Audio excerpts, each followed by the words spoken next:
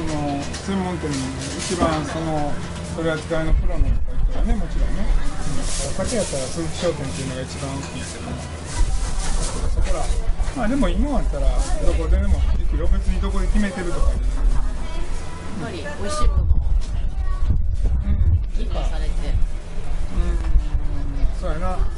まあこの人あれなんだけど町市場自身が変わってきとうからね昔と違ってあの仕入れとかそういうのの感じがうん。どういうかなね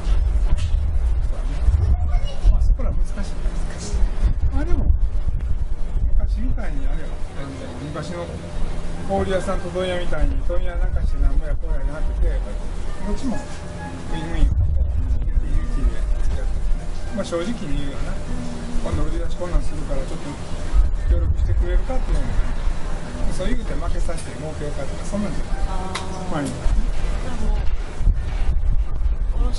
ともいい関係でうんもちろんお商売されてる。そう